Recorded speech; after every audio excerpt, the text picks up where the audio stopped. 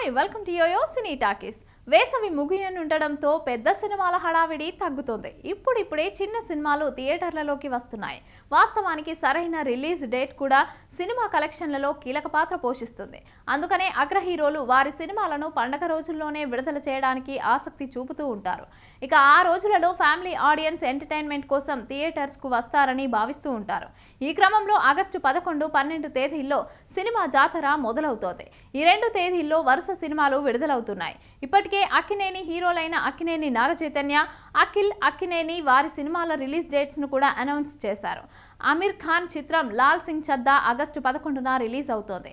అందులో నాగ చైతన్య నటించాడు. అలాగే అఖిల్ హీరోగా నటిస్తున్న ఏజెంట్ చిత్రం కూడా ఆగస్టు పన్నెండున విడుదలవుతోంది. ఈ రెండింటితో పాటు అక్కినేని ఫ్యామిలీ నుంచి విడిపోయిన సమంత టైటిల్ పాత్రలో నటించిన యశోద చిత్రం కూడా ఆగస్టు పన్నెండునే రిలీజ్ అవుతోంది. ఇక నితిన్ లేటెస్ట్ మూవీ మాచర్ల నియోజకవర్గం కూడా ఆగస్టు పన్నెండున ప్రేక్షకుల ముందుకు రానుంది. అంటే ప్రస్తుత లెక్కల ప్రకారం నాలుగు చిత్రాలు ఆగస్టు రెండో వారంలో ఆడియన్స్ను అలరించడానికి రెడీ అని అంటున్నాయి. ఇక ఇప్పుడు ఈ లిస్టులో మరో స్టార్ హీరో సినిమా కూడా వచ్చి వైవిధ్యమైన సినిమాలు చేసే హీరోగా పేరున్న విక్రమ్ నటించిన తాజా చిత్రం కోబ్రా.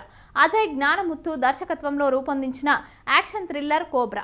ఇక దీన్ని ఆగస్టు పదకొండున రిలీజ్ చేయబోతున్నట్లు మేకర్స్ ప్రకటించారు. ఈ చిత్రానికి ఆస్కార్ విన్నర్ ఏఆర్ రెహమాన్ సంగీతాన్ని అందించారు. ఇందులో విక్రమ్ ఇరవై ఐదు గెటప్స్లో కనిపించబోతున్నారట. కోబ్రా చిత్రం తమిళంతో పాటు తెలుగులోనూ రిలీజ్ కానుంది.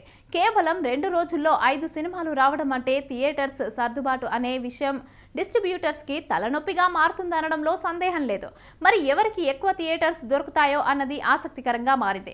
ఇక చైతు మూవీ కన్నా సమంత యశోదకే ఎక్కువ థియేటర్స్ దొరకవచ్చుననే టాక్ బలంగా వినిపిస్తోంది. Hi hello. మెస్మరైజ్ చేసే మూవీ ముచ్చట్లు రిలీజ్ అయిన వెంటనే రివ్యూస్. మీ అభిమాన తారల రియల్ స్టోరీస్ సినిమా సమాచారం ఏదైనా క్షణాల్లో మీ చెంతకు మరింకెందుకు ఆలస్యం?